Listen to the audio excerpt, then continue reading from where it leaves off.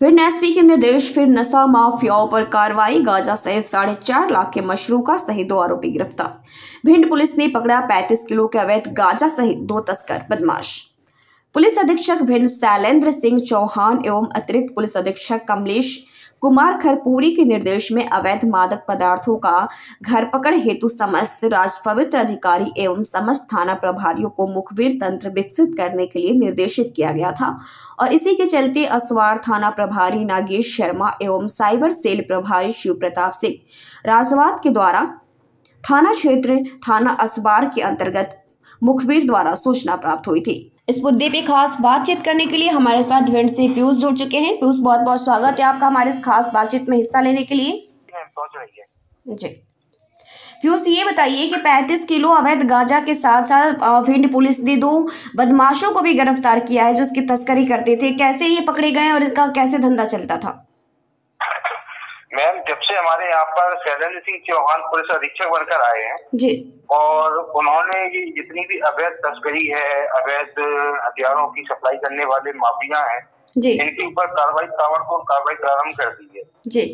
अभी असवार थाने के पास में एक चोरई चौराहा पड़ता है तो जी। वहाँ पर तो कुछ पुलिस वालों की तरफ़ से चेकिंग लगाई गई थी तो वहाँ पर से UP nine three V twenty seven three one passion pro की एक गाड़ी थी जो दबो की तरफ़ से आ रही थी। जी।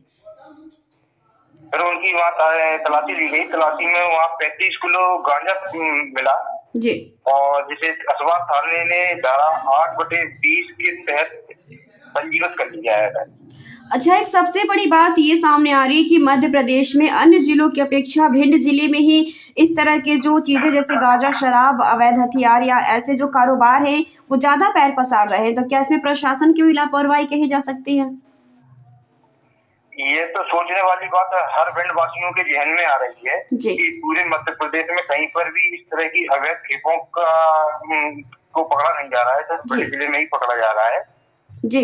और सबसे बड़ी चीज़ ये है कि कहीं यहाँ इसमें ऐसा लोगों को महसूस होने लगा है कि कहीं ना कहीं इसको किसी का संरक्षण प्राप्त था इसीलिए इन चीज़ों ने अभी तक यहाँ पैर फंसा लिए है। जी। जी बहुत बहुत शुक्रिया पीयूष हमारे खास बातचीत में हिस्सा लेने के लिए। ये आ, श्रीमान पुलिस अधीक्षक महोदय के निर्देशन में अवैध मादक पदार्थों के खिलाफ एक अभियान चलाया जा रहा है। इसी तारतम्य में आ, साइबर ब्रांच क्राइम ब्रांच और पुलिस थाना असवार के द्वारा मुखबिर को सूचना मिली थी। कल रात को दो व्यक्तियों को पकड़ा और 35 किलो गांजा एक मोटरसाइकिल और उनके पास से चार मोबाइल जब्त किए हैं। अभी विवेचना जारी है उसमें। हो सकता है कि अगले कुछ दिनों में और भी बड़े खुलासे इसी तारतम्य होंगे।